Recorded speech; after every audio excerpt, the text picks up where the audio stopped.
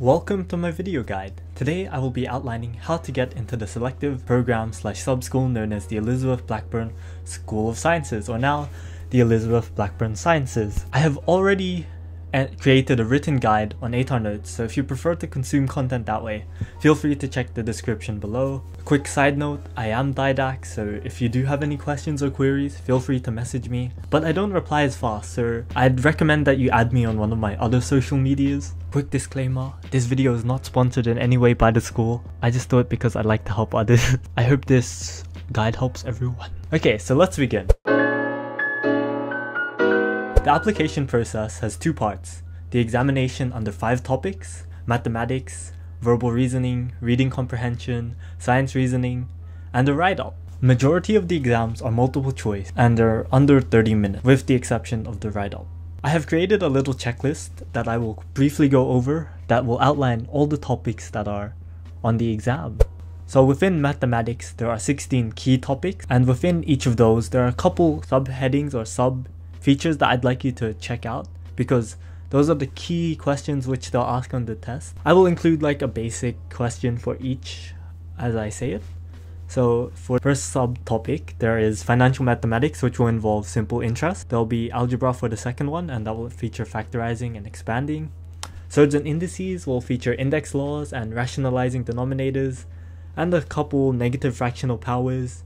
The fourth topic is simultaneous equations and inequations. Make sure you know this really well because this is about 10 or around 5 to 10 questions out of the 60 in the mathematics topic. There's also linear equations or relationships and they feature gradient formula, distance formula, and midpoint formula. So it's just the basic uh, y equals x plus c or mx plus c. And there's also some nonlinear relationships, so there's a couple parabolas, binomials, and yeah, rates and proportion is also a small chunk of the test. They might include direct proportion, indirect proportion, and conversion between percentage to ratios. There's also trigonometry, which will feature Pythagoras theorem, unit circle, exact values. Another key point is mensuration. I advise you to learn all the 3D and 2D area formulas as well as surface area formulas and volume equations as they'll include at least two questions. For geometry there is angles and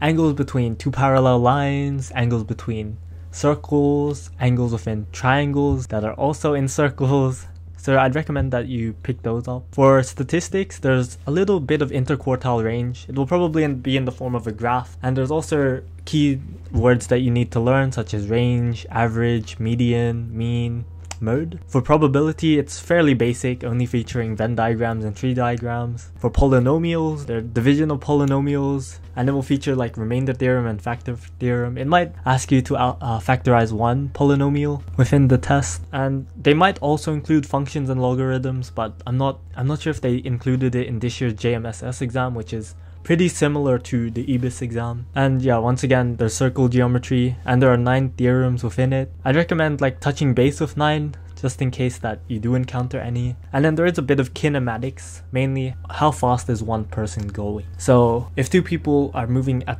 different speeds, at what time will they reach each other? That's also a question on the science reasoning exam. And yeah, that concludes mathematics. For verbal reasoning, there isn't much knowledge necessarily, but there is core components from English language unit 1 and 2 which you could learn. It's fairly basic and there are four key topics which I recommend that you learn. You need to have a wide vocabulary for this exam as well because they'll use a lot of words, diverse range to be exact, and they'll refer to a lot of antonyms and synonyms which can all be found in like I'm listing right here. They'll also include a couple definitions such as what does this word mean and they'll also do a lot of relation type questions such as room is to house as cell is to blank and in this case it will be gal. So I'd recommend picking up and reading as much as you can. There isn't much you can do to practice practice for this. And there's also one last thing which is finding two statements which strongly suggest. This is also another key question type. And yeah, that concludes the verbal reasoning part. For reading comprehension, I've broken it down into five key parts such as grammar because you need to have really strong grammar for this. You need to also be able to successfully identify correct sentences as well as the correct punctuation. And they'll ask a lot of questions revolving around key points within big chunks of paragraph. My tip for this is read the questions first, find the keyword within that question and then look for that word within the paragraph and that will generally give you the answer a couple words around it. For correcting grammar, you just have to, like I said, learn all the grammar within English and understand it very well. And you also need to find definitions within a sentence. In my opinion, I found reading comprehension to be my strongest subject, yet I didn't study for it as much. Yeah, I, I didn't really prepare at all for it. I guess reading really helped because I read a decent chunk of books. So if you've read a lot of books, you should be fine with this. And once again, it is similar to the John Monash exam. So if you've done that previously, you should have experience or an advantage when doing this exam. So the last multiple choice exam is the science reasoning exam and this contains a lot of basic knowledge from year 7 all the way up till year 10 and I'll, I found a couple topics which are very important such as physics, chemistry, and biology. I've found some key areas which they normally put on their test, so I will be outlining them now. So for biology, they normally ask about cells, particularly organelles. They also ask a bit about photosynthesis, such as what is the equation for it, for chemistry, they ask the they talk a lot about the first 20 elements. They talk about valence electrons, organic molecules, how it works, and reactions between elements as well. Normally finding precipitation, they'll give it in like a graph form and then they'll ask you to find which elements cause the precipitation. They also touch on like periodic table groups, so what are the um, groups on the 20th element or what's the group on the 10th element or something similar to that. For physics, they normally ask about kinematics, so laws of motion, which is like distance over time equals speed. They'll ask about weights, pulleys and gears. Pulleys and gears are a lot, but it's only one question out of 15 or 30. There also is a bit of experimental design interpretation, which means like graph analysis or report analysis based on like a science report and they ask for like variables and precision and accuracy. And one key thing to note is x the x-axis is normally time but that really depends on what you're working with. Okay so for the last part of the exam there is a writing component and that comprises of a topic with what do you want to do in the future? Why and how can EBSS help you? And in this piece i recommend writing whatever you want like outline exactly how EBSS can help you and prepare like a short 15 to 30 minute uh, three paragraph essay or persuasive piece explaining like what you want to do with EBSS. And yeah, you should be sad if you do that. One quick note there is they never asked for it at all. Like it's not even uh, corrected by EduTest and nor is it brought up in the interview. I haven't asked the coordinator yet, but I'm pretty sure it does have a bit of a contribution to your entrance, so I would recommend like focusing on it still, because they might bring it up on the interviews, I'm not too sure. Like for the past two years or three years, they haven't really said anything about it. That will conclude my checklist slash brief overview of and tips for what you need to do for the exam.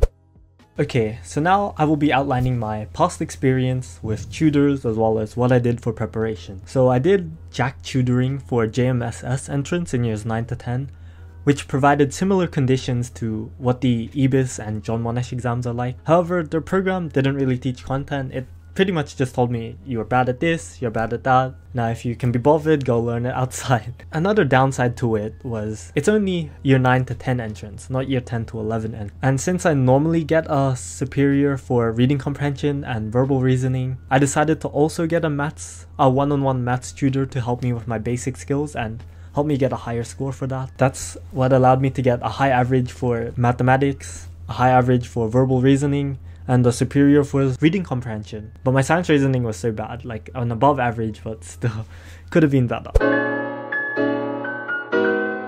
Anyhow, let's talk about tutoring. So since there aren't really tuitions for EBSS and there wasn't much information for it, I decided both to provide the information for free and also create a tu- tutoring platform slash meetup sort of thing where if people need it, I am able to provide it. So I've created practice tests in the link in the description below. So those questions that I've included throughout the video, they are taken from my practice test that I've been working on throughout the holidays and up until now. And so if you ever want any like resources for the test, feel free to either message me directly and then yeah, we could sort things out such as tutoring one-on-one or I can get even one of my friends to help you out and just go over the course content. If you don't want to do any of that, there are tests for about $35 but if you use my code right here 10 off you're able to get a 10% discount. And yeah like those are my rates. For in-person tutoring I charge about 30 an hour so if people are curious about that feel free to contact me over my social medias. And by no means do you have to purchase these tests or arrange for tutoring. I'm just saying that if you need it they're there and I'm glad to provide them to you. Since a lot of my friends and a lot of the people in the year level below, they didn't really need anything. All you have to do really is just be motivated and learn all the content that I give you for free. That's all you really need to do. In terms of studying,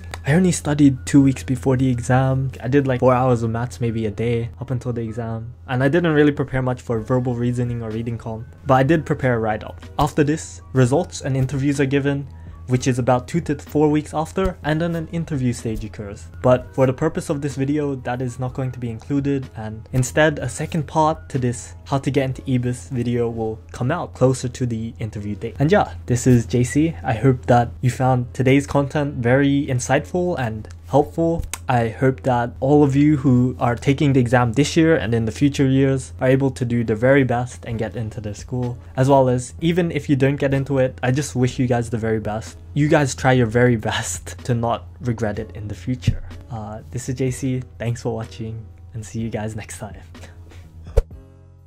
okay, so one last thing before this video ends. I'm going to be breaking up this uh, video series about how to get into EBSS into three parts part one, which is what you've already seen. Part two will be a frequently asked questions video slash ask me anything video, and that will be all about EBSS related. So if you have any EBSS related questions that you'd like to know, feel free to leave them in the comment section below, and then I'll make sure to include it in the video before the upcoming exam. And the third part will be the interview stage, which will be talked about more closer to that date. And yeah. Once again, I'd like to thank everyone for getting this far, and I hope that today was very helpful. Thanks, and this is Jayce signing out.